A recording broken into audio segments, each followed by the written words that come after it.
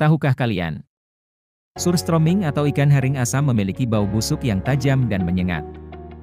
Hidangan ikan yang dijuluki sebagai makanan terbau di dunia ini merupakan kuliner tradisional Swedia.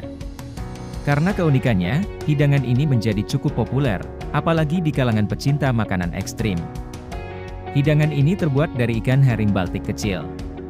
Ikan tersebut ditangkap pada musim semi, diasinkan lalu difermentasi dalam waktu yang cukup lama. Fermentasi ikan herring berlangsung setidaknya selama satu bulan, menyebabkan bagian atas dan bawah kaleng membengkak, serta bertekanan besar. Untuk membuka kaleng ikan asam ini harus di bawah air agar tidak tumpah. Uniknya, walaupun memiliki bau menyengat, ikan herring yang difermentasi dengan baik memiliki rasa khas pedas dan gurih. Itulah fakta unik tentang makanan khas Swedia Surströmming. Jangan lupa like, komen, dan subscribe.